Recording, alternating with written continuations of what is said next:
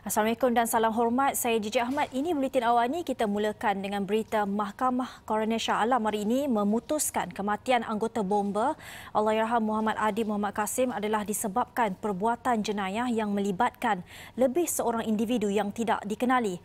Keputusan dibuat Coroner Rofiah Muhammad selepas meneliti keterangan beberapa saksi yang selari dengan kejadian yang berlaku. Rakan setugas Helmi Malik di Shah Alam ada butiran lanjut.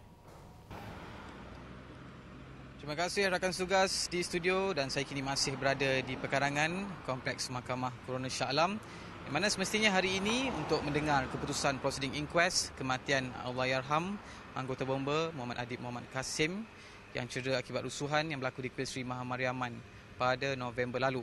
Dan apa yang saya boleh kongsikan dan sememangnya keputusan telah pun dikeluarkan pada pagi tadi di mana punca kematian Muhammad Adib ini adalah disebabkan oleh perbuatan jenayah yang melibatkan oleh seorang individu seorang individu atau lebih tanpa dikenali. Dan apa yang boleh saya kongsikan, keputusan ini telah pun dibuat berdasarkan keterangan saksi di mana Coroner Rofiah Muhammad telah meneliti keterangan kesemua saksi dan mengambil kira keterangan mereka sebelum membuat keputusan ini. Dan apa yang boleh uh, saya katakan, uh, keputusan ini juga uh, berdasarkan uh, keterangan saksi yang melihat sendiri keadaan uh, yang berlaku pada waktu rusuhan itu. Dan apa yang boleh uh, saya uh, rangkumkan di mana keterangan kesemua saksi ini sebahagiannya uh, menggambarkan bagaimana keadaan sebenar uh, ketika waktu malam kejadian rusuhan itu. Ini termasuk uh, keterangan oleh pihak bomba sendiri di mana telah pun diserang uh, kenderaan van EMRS dan juga terdapat juga saksi awam yang melihat sendiri di mana uh, kedudukan bulatan seolah-olah mempunyai 20 hingga 30 individu dalam keadaan memukul dan beliau menghampiri uh, kawasan bulatan itu dan mendapati Muhammad Adib berada di dalam bulatan itu sebelum beliau ditolak jatuh ke hadapan Adib sebelum bahunya juga turut disepak.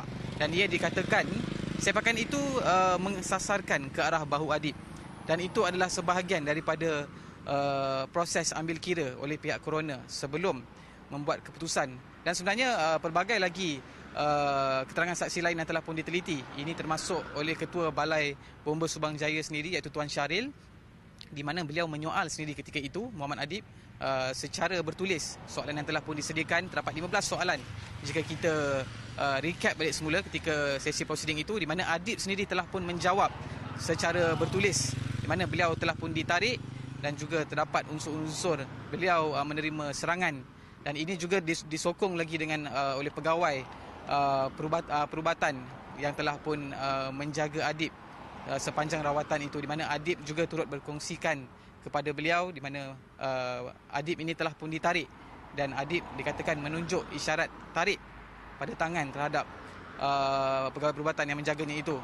Dan uh, apa yang lain juga yang boleh saya kongsikan di mana uh, jika kita recap semula terdapat dua pakar forensik uh, yang menjadi tumpuan sepanjang sesi proceeding inquest ini berlangsung dan apa yang uh, dapatan pada hari ini di mana uh, saksi pakar forensik uh, Dr. Ahmad Afizah Masmi yang merupakan uh, pakar forensik HKL di mana yang mengeluarkan teori berhubung kecerahannya juga uh, di mana Mahkamah Coroner hari ini menolak teori tersebut uh, dan sebaliknya menerima teori daripada uh, bekas pakar forensik HUKM iaitu Prof. Dr. Syarum Abdul Wahid yang mengatakan uh, Adib ini telah pun menerima uh, himpitan uh, daripada pintu van EMS itu antara uh, teori yang dikatakan uh, lebih tepat untuk digambarkan keadaan pada malam itu dan uh, ketika uh, seksi hujung uh, pembacaan uh, keputusan ini juga mahkamah coroner uh, coroner Rofiah Muhammad uh, telah pun menyerahkan keputusan itu sepenuhnya kepada pihak Jabatan Peguam Negara dan termasuk pihak Polis Diraja Malaysia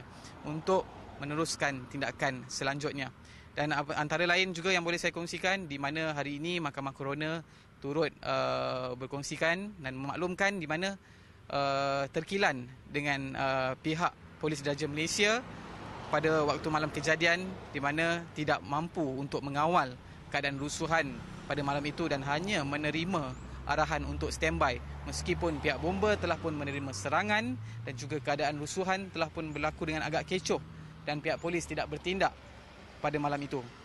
Dan itu antara perkongsian yang dapat saya kongsikan di sepanjang sesi proceeding hari ini dan apa yang boleh saya harapkan tiada sebarang insiden lagi lain yang tidak diingini untuk berlaku dan apa yang semestinya kita harapkan seluruh rakyat Malaysia mengharapkan keadilan sepenuhnya dan diadili sepenuhnya oleh Allahyarham Muhammad Adib Muhammad Kasim.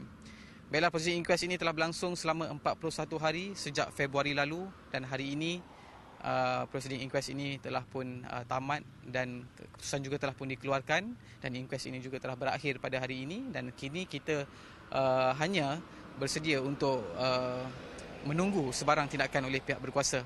Dan saya kira setakat itu sahaja perkongsian yang dapat saya bawakan langsung di Mahkamah Coroner Shah Alam. Kembali bersama rakan setugas di studio. Silakan.